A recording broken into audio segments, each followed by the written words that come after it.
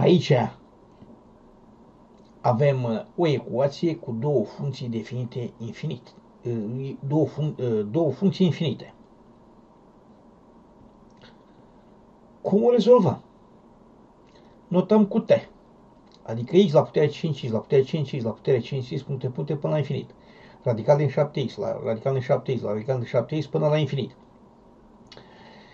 x la puterea 5 minus x la puterea 5 minus x la puterea 5 minus x până la infinit egal cu recance 7 din x, recance 7 din x, recance 7 din x până la infinit. E t. Fiecare este egal cu t. Dar aici, ia uita, x la puterea 5 minus x, 5 la puterea 5 minus x la puterea 5 până la infinit. Deci asta e t de aici. Deci x la 5 minus t fac t. Aici, radical 7 din x, radical 7 din x, radical 7 din x. Iar la putere până la infinit, tot t. Și ăsta este t de aici. Radical 7 din x la t egal cu t. t egal cu x la putere t pe 7. t de aici este x la 5 minus t. Îi egalăm pe, pe aceștia doi. Se egalează.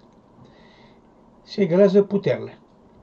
5 minus 7 egal cu t pe 7, adu la același numitor, 35 minus 7 t fac t, 35 fac, duc în partea asta 8t, t egal cu 35 supra 8.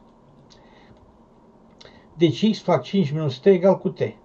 x la putere t fac, 7, fac t, 5 la putere 5 minus 35 supra 8 ăsta de aici. Egal cu 35 pe 8.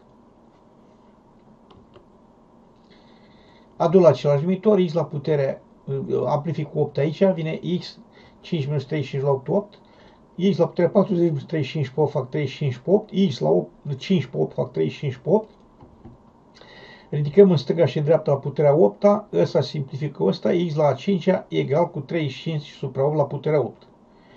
Radic, extragem la cance 5 din stânga și din dreapta, la cance 5 din x la 5 fac x, x egal cu cance 5 din 35 supra 8 la puterea 8. Deci asta este soluția.